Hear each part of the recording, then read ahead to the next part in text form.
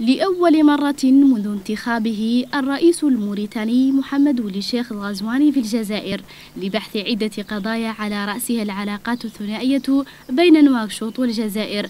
على الطاولة قضايا الأمن والاقتصاد والتعاون في مجالات التشغيل والتعليم والصحة.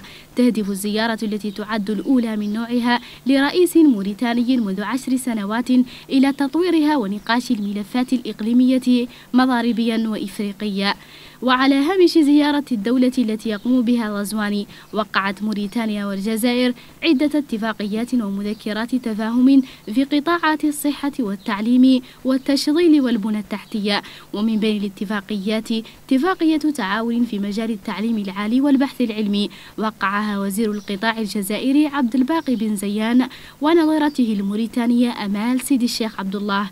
كما تم التوقيع في ذات المجال على برنامج تنفيذي لسنوات 2022 2023 و 2024 وشملت التوقيعات أيضا اتفاقية في مجال الصحة ومذكرة تفاهم في مجال التكوين المهني وأخرى في مجال المؤسسات المصادرة.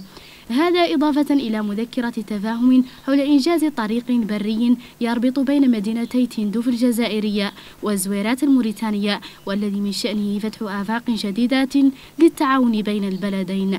وتأتي الزيارة بعد تطور في العلاقات الاقتصادية بين موريتانيا والجزائر حيث افتتح مؤخرا معبر بري بين البلدين وفتحت الأسواق الموريتانية أبوابها في وجه المنتجات الجزائرية. وبالإضافة لأهميتها التجارية تشترك موريتانيا والجزائر في مواجهة الجماعات المسلحة وتؤثر عليهما الحالة الأمنية في منطقة الساحل.